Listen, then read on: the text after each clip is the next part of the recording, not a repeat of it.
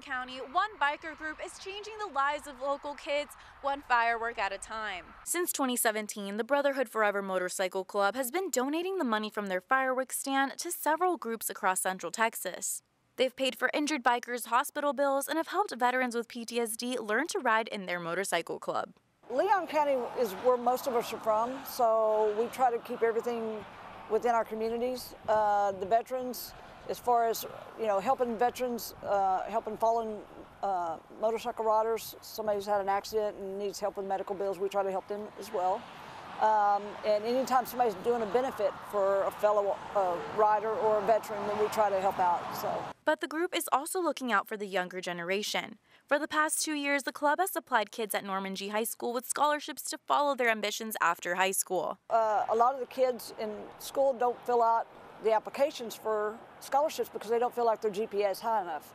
We don't care if their GPA is 2.4. We don't, we don't care about GPAs. We care about their passion for wanting to do something, whether it's being a lineman for an electric company or fixing hair, you know, or whatever. We don't care. Or if they want to be a physicist, we don't.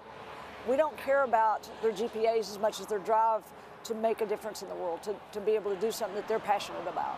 For 6 News, I'm Andrea